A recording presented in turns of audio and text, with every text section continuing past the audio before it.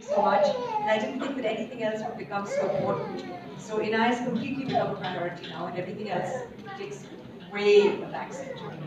And, and you find yourself like that as well, being a mother.